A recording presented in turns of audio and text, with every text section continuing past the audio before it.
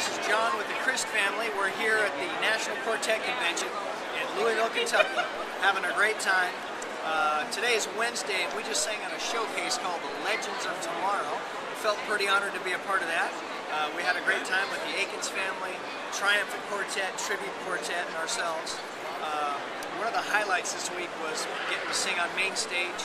Uh, we got to connect with the audience probably for the first time since we've been coming to NQC. We had a lot of time, got to tell them a little bit about our testimony. Just had a wonderful time on Tuesday night. And uh, the crowd's been really responsive. We've met a lot of new folks here. And we'll also be singing on the main stage on Friday night at about 9.30 or so.